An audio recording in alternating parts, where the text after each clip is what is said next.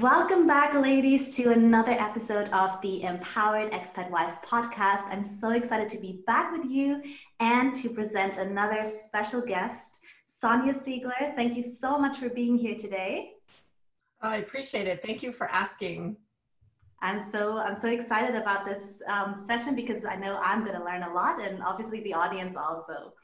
So um, let me introduce Sonya real quick to you all. Um, Sonya is a business strategist and consultant, as well as an executive leadership coach and a published author. Um, she creates practical game plans for people who are looking to reinvent themselves or grow professionally. Um, she has extensive experience as an operations and legal executive, covers startups to Fortune 500 companies, and she has also been an in house lawyer for over 25 years. And if this isn't already really impressive, she's also done all that while also being an expat herself and raising three sons. So that's that's a lot, a lot of accomplishments. that last one about being the raising three kids, that's the badge of honor. yeah, I think so too.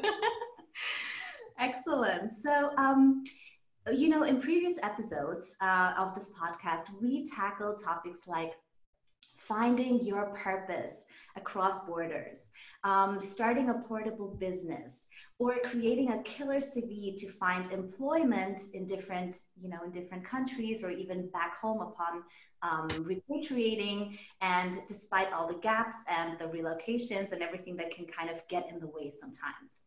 But I know that still many expat wives will feel a bit overwhelmed and stuck when it comes to taking the next steps um, towards their own professional development. So, what would you recommend these women to do in order to overcome their own doubts or anything else that could hold them back from getting started? There are a couple things that I think are very important to keep up to date. First, you talk about a CV and creating a killer CV, and I'm glad you've had people on to help with that because that can be a sticking point for people. They don't want to put their hat in the ring or they don't want to put their name out there because they don't feel like they've actually got a good CV or resume. They don't feel like they've got a good list of accomplishments because there are those gaps and there are those, um, you know, uh, uh, lack of consistency, if you will. And I think it's important to remember keep everything updated so keep all of LinkedIn, keep your resume, keep your CV, keep all of that updated because you never know when you're going to have one of those conversations where people say, Oh, I know someone, send it over to me and I'll forward it. So you never know when that's going to happen. And then the other part is if you keep it up to date, you've eliminated that stumbling block. And that's huge. I know if I have to send it out and I have to, you know, I haven't updated it in three years, then you're like, oh, what did I even do the last three years? Yeah. Uh, so it can be a huge stumbling block. And I think if you keep it updated, um, it just removes that stumbling block and makes it so much easier to to help yourself when you do find something interesting. And I think the other part that can really help um, lessen the um, feelings of overwhelm or lessen the feelings of, oh, I've got this gap, I need to figure out how to address it, or I just don't even want to address it. Um, I've been working with this woman who's been raising kids and homeschooling them for 15 years. Wow. And she's been doing some work on the side in those 15 years. And she's a lawyer, so professional, smart woman. And yet she feels like she can't submit her resume for full time jobs right now because she's got this gap. And I'm like, look, you've done the work, you've done all of this, you have the experience. It's not like licensing has changed. You know, your skills are up to date. So I would say keep the skills up to date. That's one thing. And then I think the other thing is when you know your top three to five skills and you can tell stories in your experience no matter when it was so even if there is a gap of three years and you have experience and i my my uh, favorite skill and uh, strength is organizing chaos and i'll talk more about this uh, in a bit but I have stories around that at each company I've been, at each volunteer activity I've done. So I can pull those out at a conversation um, to explain what I've been doing and what my skill is and what I can bring to the table. So I don't think those gaps matter so much as being able to articulate your top skills and talk about what you've done and bring your experience into the conversation to help explain it. So I think keeping your resume up to date is part of it, but the other part is knowing right off the bat what your top skills are. And if you're an expat wife, organization is going to be one of those. yeah, pretty sure of it as well. Right. And I love that when you really focus on that and you don't leave it, like you said, uh, you don't leave it, you know, somewhere during three years and then all of a sudden it's like, ooh, what did I do the past three years? And everything in retrospect might seem like it's nothing. But when you actually keep this mindset and mentality of, what have I achieved now? You know, maybe it was in a volunteering position also where you just had great accomplishments and looking out for those in order to add them to your LinkedIn or your CV I think that's such a, a nice mindset hack also to have to really keep up your confidence. I think you know the other part. Now that you're you're saying about that, reminds me. Um, I've got a group where we talk to each other. Okay, what do you think my top skills are? And these are two other ladies. We did fundraising together, and so it's like, okay, what do you think my top skills are? And we kind of did that for each other, and it was better because it's not you trying to come up with everything in a vacuum. Like, yeah. remember, what did we even do over the last three years? yeah. So it was helpful to have a conversation with other people that I had in that particular capacity volunteered with to be able to hear what they thought. And, and that was really helpful. Mm, I love that. And especially a lot of women are so humble when it comes to their accomplishments that I think that's really a really helpful tip for them. Um, all right. So then in your book, uh, Welcome to the Next Level, you talk about take an inventory of how you spent your time and creating a requirements roadmap. I thought that was so interesting. Can you tell us a little more about that? Yeah, one of the things I have clients do is um, go through a day or a week and kind of keep track of what they're doing um, I think people lose track of how they spend their time at work or how they spend their time at home, and they're like, oh, I didn't do anything. And so it's a really good way to be more granular about what you're actually accomplishing. And a requirements roadmap is really a list of things that you want to have in your life or your job and you can do it for anything. You can do it for your job or you can do it for how you want your family to be or you could do it for a volunteer activity. We did it um, when we moved about 10 months ago we did it for a house uh, and where we wanted to be in location because we were no longer tied to um, the san francisco bay area. My youngest graduated from high school so we're like okay where do we want to go next um, and so we put a list of requirements together and that's must haves and then a list of nice to haves and then a list of cannot haves mm-hmm. and um, most people no, I don't want this. I don't want a boss that's a jerk. I don't want a place that's kind of backbiting, backstabbing. I want something more collaborative. So is the collaboration and that aspect of it is a requirement? Like if it doesn't have it, you're going to walk away from it or is it a nice to have? Like yes, I would prefer to be in an environment where my coworkers are collaborative and and not hoarding information and not backstabbing and hiding the ball. So those kind of requirements. Another one is commuting. Do you have to drive an hour or do you have to take the bus or train an hour? Um, those kind of things. The others I see, and then usually it's a short list of maybe six things, six to 10 things. Uh, and the list of cannot have are deal breakers. So if it has, for example, I won't work for people I don't like. So if it has an asshole boss, I'm not doing that. Or if that work I'm taking on, I'm not doing it. Um, so what you actually want. So those requirements.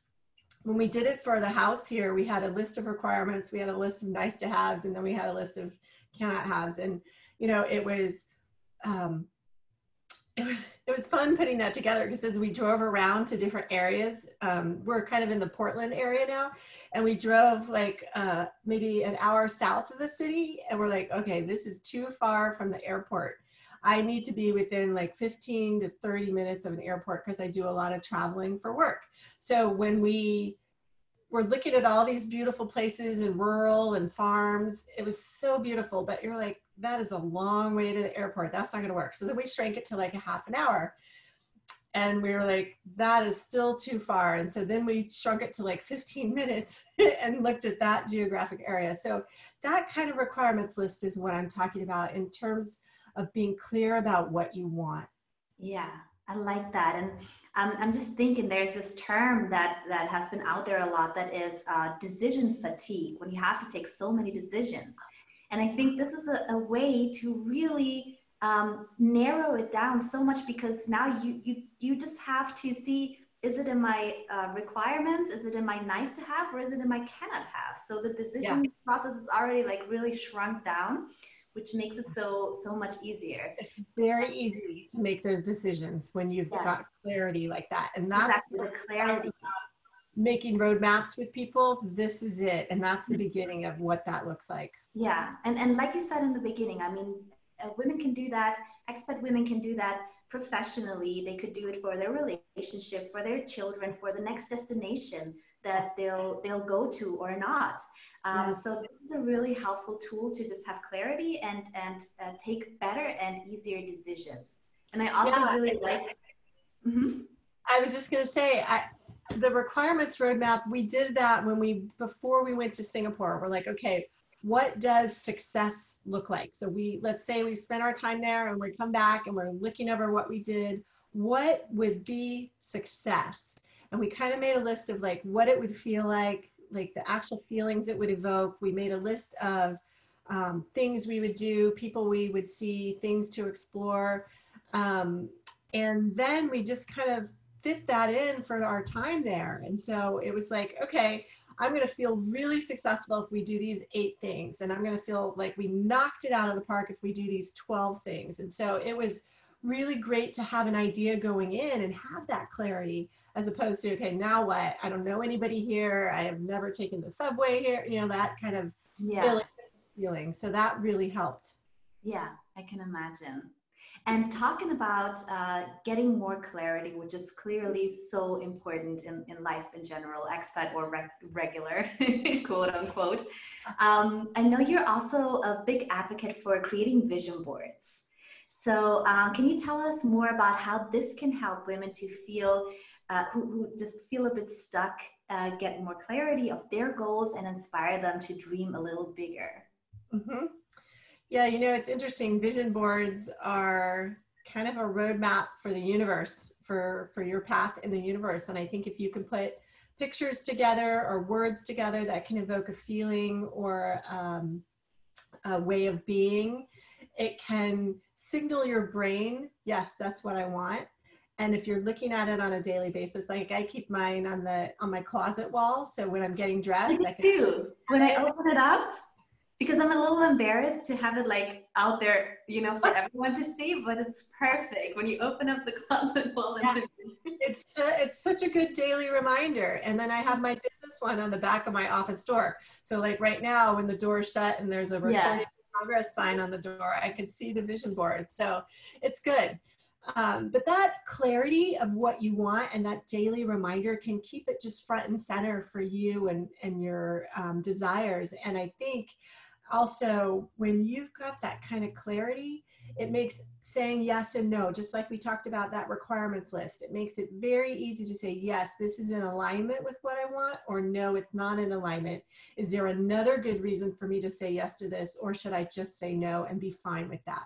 Mm-hmm. And I think when we're indecisive, it's because we don't know where it's fitting on our list. We don't know, does it help me get to my goal? Does it not? And what happens is people meet their goals and then they don't set new ones or they don't have very clear ones. And so when they go to make a decision, they're like, is this getting me closer to what I want or is it not getting me closer to what I want? And so that clarity of having that vision board and that daily reminder of it is so helpful. Yeah, I think so too. And I love that you mentioned um, picking pictures that make you feel good because the feeling is really the biggest motivator, right? Much bigger than the goal itself. It's the how do I think this goal will make me feel? So um, just making sure that it doesn't feel like too much of a stretch or like that's actually someone else. I think it's kind of nice, but actually it's not really me just really thinking, okay, let me pull out pictures from magazines, from the internet. There's endless possibilities. And it's such a fun activity to do, even with kids, right? I mean, they could start, oh, yeah. you know, what's interesting interesting. I did this uh, a little bit differently with my boys um, during the summers. So when school would get out, we would go to Great America, which is an amusement park. Um, and we would have fun for the day and then we would go camping for a week. So it was a really good break between summer and school. And one of the things we would do is we would talk about what do we want to do for the rest of the summer. Mm-hmm. Um, you know, do you want to go traveling? Do you want to go to the beach? Um, do you want to go see grandma? You know, what do we want to do for the next, whatever, 10, 12 weeks? And so we would come up with a list. Everybody could throw in the, you know, three or four things. And so we'd make a list you know, berry picking, you know, picking strawberries, you know, whatever it was, we put it on the list and we make sure to kind of fit that in. So it wasn't really a vision board like with pictures or words, but it was like, what do we want to do? And so that became our kind of fun list to do for the summer. Yeah. Oh, that's, that's, a little bit different way of incorporating kids. Another way I've done it, I've done um, workshops with high schoolers. Okay. And I have to tell you, they're so brilliant because they they are not jaded. They are not like overwhelmed by the weight of you know a mortgage or kids. That they're just brilliant about what they want and and the clarity of that. And I never want that to go away for people. And I'm always trying to get people back to that level of innocence uh, when I work with them because all of those messages of what you should do and what career path you should follow. Um, those kind of drown out our own voices. And when I work with high schoolers, they have a strong voice and it's really great. And when they put their vision boards together, I've had them do like a nine square, like an Instagram. Okay. Oh, good move. Yeah. pictures. And so they're just very creative and I, you know, it's very fun to work with them. That's great. That's such a great idea. Ah, excellent. And um, let me ask you something else. So um, when it comes to just feeling a bit stuck and like i'm not sure you know should i um, continue working should i should i get back into business or or, or start a business maybe so i think um, one of the things that uh, holds many expat wives back apart from the relocations obviously is that they just lack a support network so especially if the kids are smaller uh, but also maybe later we, we just kind of feel, and I know this is true for myself also, that we kind of need to overcompensate for the grandparents not being here, old family friends not being here. So you kind of want to take on the roles of, of, of all the others that are missing. Yeah. But apart from that, also what I've noticed in my work with clients is that sometimes it's also the husbands who discourage their wives from pursuing a career or entrepreneurship um, maybe because you know it's not necessary uh, money money wise or they're you know what whatever support too yeah. Yeah they want the support too. They're maybe worried that now the wife is not going to be available for for for them or for household tasks or whatever it is. So do you think that these women in, in such a situation with such um, doubts should they pursue their professional career anyway? And if so, how can they best navigate this kind of scenario where they're not very supported? Yeah. I think it goes back to what we chatted about earlier in terms of the clarity. Like, what do you want to be doing? Do you want something that's full time? Do you want something that's part time? Do you want something that's volunteer so that you keep busy and keep engaged with other adults? Uh, or you just know the area better, or you get to know other people. I mean, I personally like to do the culture and the food and just be immersed in wherever I am, whether I speak the language or not.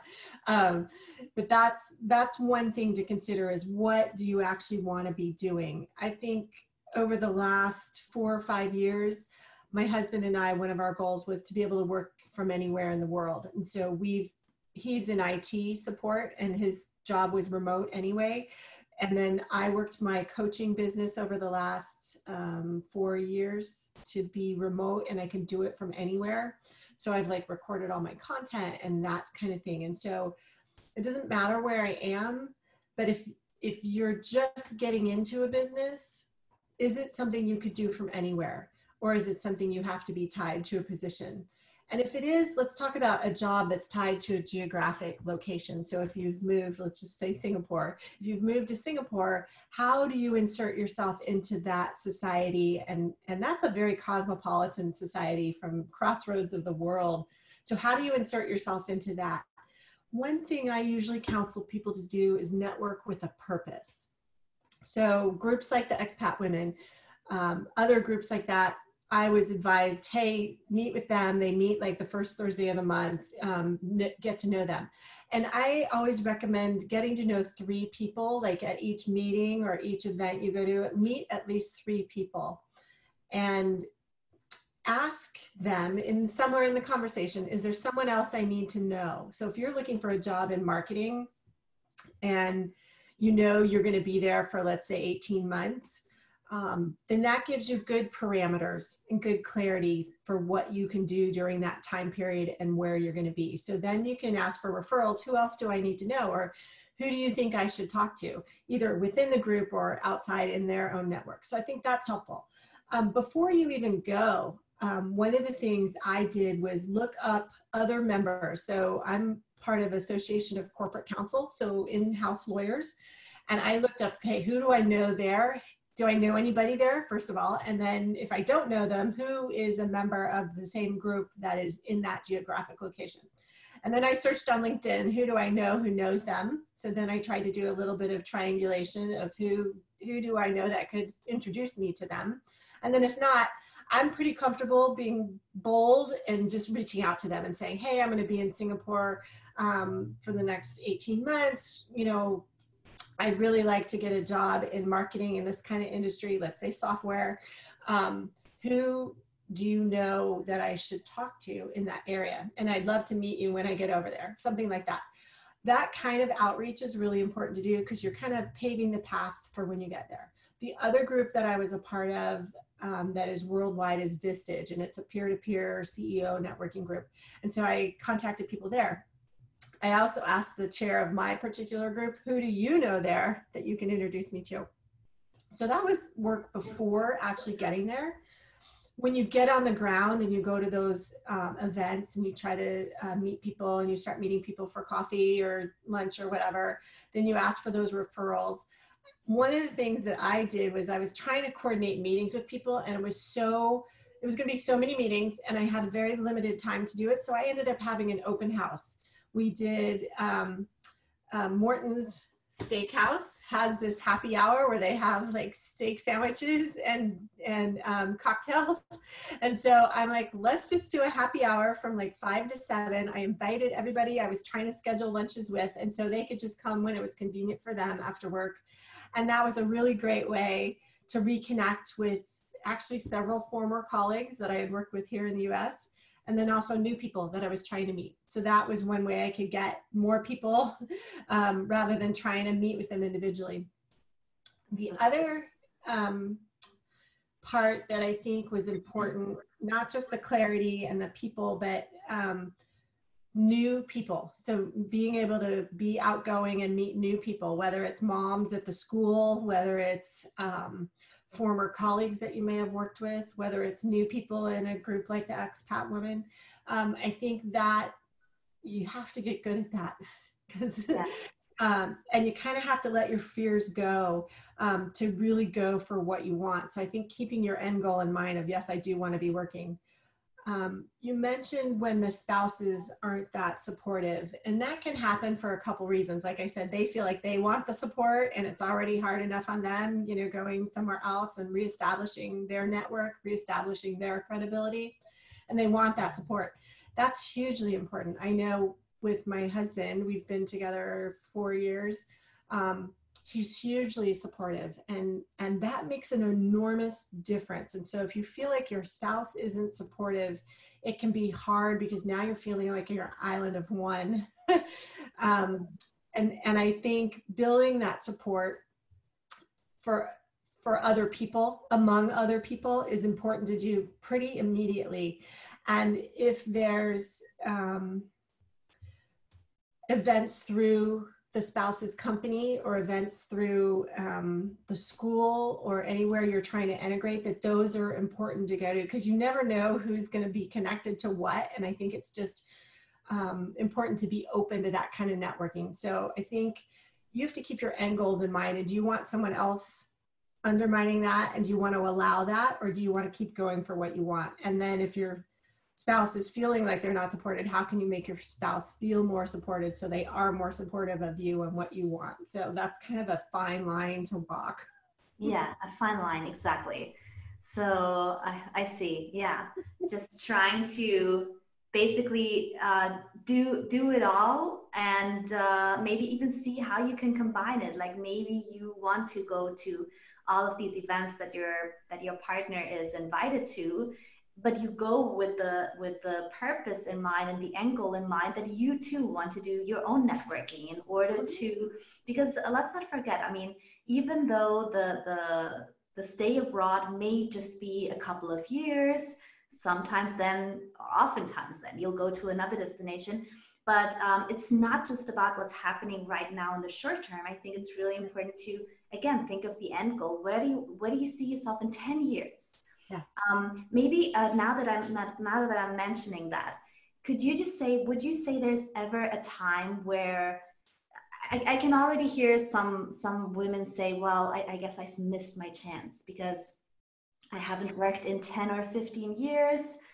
Um, now it's it might be too late. What what would you say to them?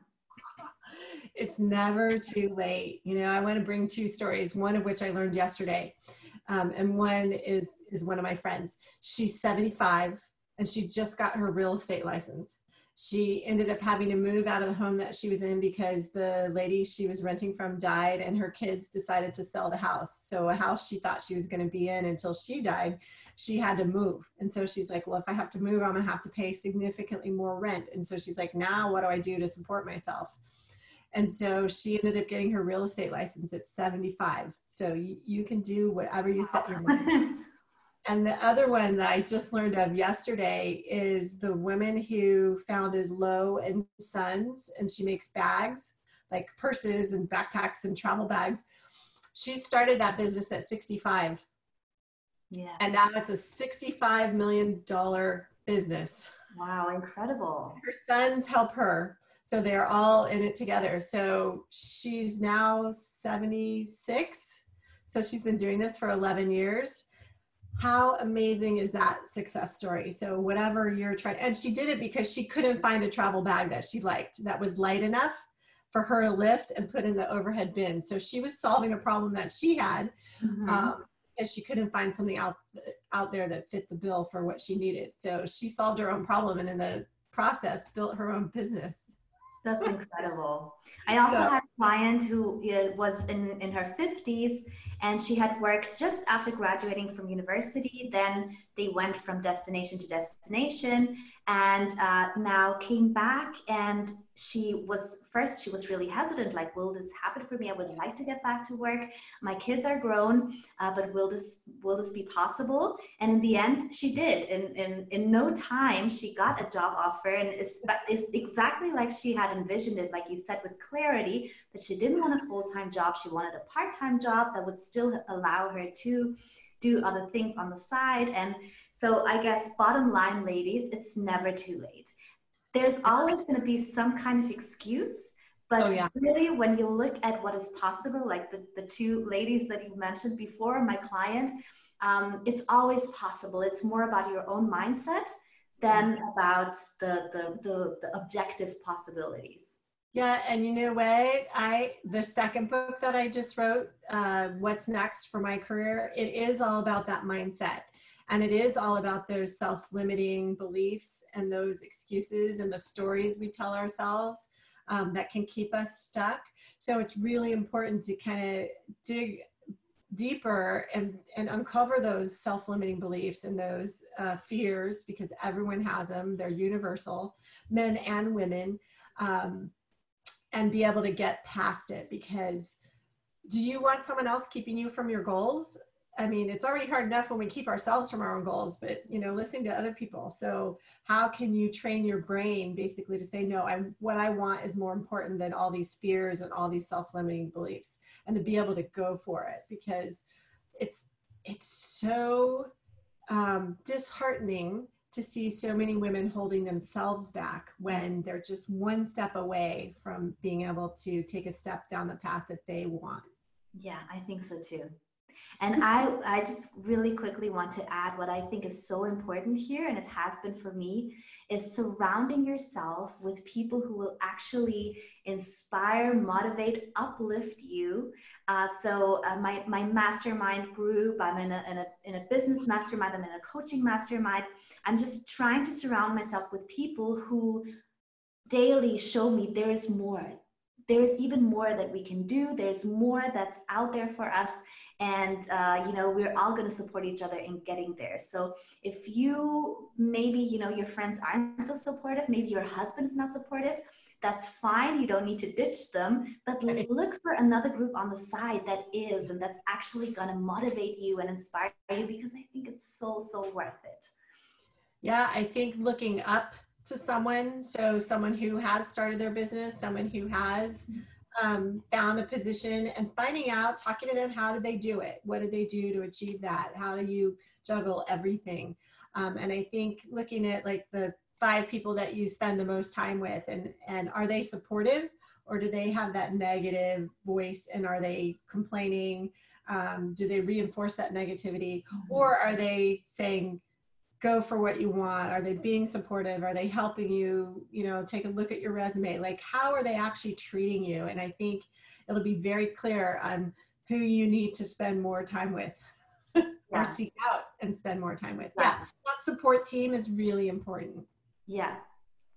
Great. And so um, finally uh, as i as i mentioned in the beginning uh, in your own life as the mom of three sons and your own expatriate um, experience, what would you say are your best tips or hacks that you could pass on to, to expat wives and moms who also have professional ambitions? Um, I think my, and I mentioned earlier, one of my strengths is to organize chaos. Like I would truly rather take everything out of the garage and clean and reorganize than do the dishes every day because that repetitive, like uh, mm-hmm. doing the dishes every day, it feels like, didn't I just do this? Wait a minute, I just did this. and so that big hairy project that is one of my strengths like to take on those kind of things so knowing that about myself and that's how i run my lives I stay organized about everything. So my kids are, uh, I have three boys. They're 19, 21, and 22. So all college age. One is done with college, one is taking a break, and one is going to go to welding school. So they're all in different stages. Um, but I had everything color coded, and I had uh, we had shared calendars. So um, kid stuff was you know a certain color. My work stuff was red. Personal stuff was green. So everything was color coded all my kids stuff was color coded so that we know whose backpack was who. So there wasn't any time wasted figuring out stuff like that. I think the other part is some things you just have to let go. Like you you can't do everything all at the same time. You can do a lot of things but you can't do everything all at the same time. The other thing that I think is so important, and it took me a long time to learn this, is be present. So if you're at work, be at work. If you're at home, be at home. If you're concentrating on something for your kids, then concentrate on something for your kids. But that presence, let me be better at that role. So if I was in a mom role, it let me be better at that role. If I was fundraising, it, it let me be better at that role. If I were at work, it let me be a better executive. Um, so that presence is really important. And I think we can get overwhelmed and we can be like, oh, but I have these 15 things to do. I, I'm trying, I'm trying to make dinner. I'm trying to, you know, help my kids with homework, all of that, like push, pull, um, overwhelm can just keep us from focusing on what we're doing. And I think if you could take a deep breath and take like three deep breaths and just what am i what's the most important thing for me to be doing right now? Making dinner. Okay then i'm gonna i'm gonna make dinner and i'm not gonna worry about anything else. Or if i am then i'm gonna keep a notepad nearby and write it down and then let it go and go back to what i was doing. Because if you're pulled in so many directions and i spent years like this because i was at a crazy startup and it just was the nature of what i was doing. But if you can be present in whatever you're doing it's going to be more effective Mm. So that organization plus the presence, I think, were kind of the two tips that I could say I learned the hard way. so I'm naturally organized. They are so hard. I'm just thinking of my own life. How often knowing this, you know, am I not fully present or kind of torn or, or yeah. yeah I spend a lot of time torn between worlds and trying to juggle it all. And I, if when I started um, meditating and being more present, um, things went better. Yeah. Like, like yeah. it happened better and it was more, um, oh, what's uh, like effective. Like it was, it was just better. Yeah. Imagine that. And I actually just recently read an article uh, that was talking about how women for, you know, decades have prided themselves of how good they, they are at multitasking, but really it's not the best and most effective thing to do because it actually keeps you really scattered.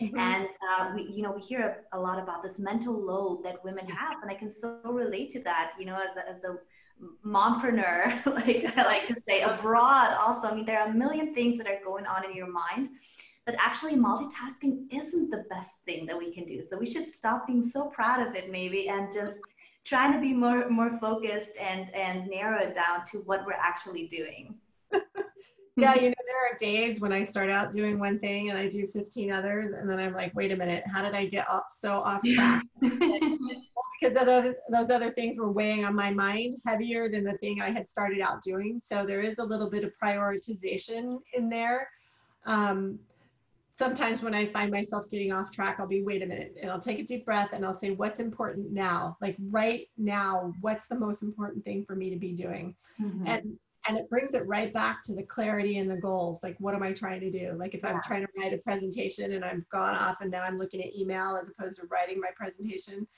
okay, that's not helping. Let's stop doing that. Turn my email off uh, and concentrate on getting the, that presentation done. So what's important for me to do right now? And so my day today is going to be exactly that because I've got presentation tomorrow morning at nine o'clock. So I've got to finish that. So I know if I get distracted that that, you know, comes right back to what's important now. Yeah, great.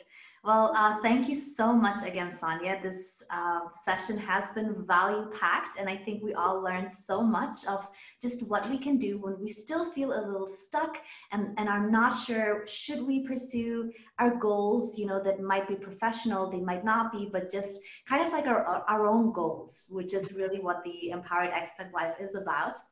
And so, um, can you tell us now if people want to find out more about you? You mentioned your new book. I know you're working on a new course as well that's coming mm-hmm. out. Can you tell us real quick where people can stay in touch with you and take advantage of all these great things that you're working on? Yeah, I actually have a little thing. I printed it for you. Oh, great. so, SonyaSigler.com is my website and book is going to get you welcome to the next level which is the book you mentioned to begin with. And if you do book Wait, two the number two that'll get you the, the new book what's uh, next for my career. And you can contact me at that email address. And i'm happy to answer questions happy to um, talk people through what they need. And then um, I work with people on a one-on-one basis attached to my online courses, and I work with entrepreneurs on a um, eight-week quarterly basis, so eight weeks spread out over a quarter. And as you mentioned, the online classes, I've got one that accompanies the first book, and then I'm recording my last session tomorrow for the second book. So then all that content will be ready and on demand. So I had to take the the knowledge uh, in of the book and put it into practice. I'm guessing. Exactly, and I have exercises associated with everything in there to help people really work through those things. So when we talked about what do you want and getting that clarity and and those fears that can get in the way and figuring out what you're stuck on or why you're stuck and getting getting to know yourself better um, those exercises can be really helpful and then it also can help to actually talk through with a coach uh, you know one-on-one to figure out okay what's really going on here like a, a sounding board they say yeah. it is so important I think the other thing I find that people hire me for is the accountability. So just oh, yeah. getting to the bottom of what they want and then having that ongoing accountability. Yeah. Again, it's so easy to make excuses when someone's waiting for the results right? then you're you're bound to do it. Yeah. ah, great. Okay, so I'm going to put all of your contact details and all of, of the links in the session notes.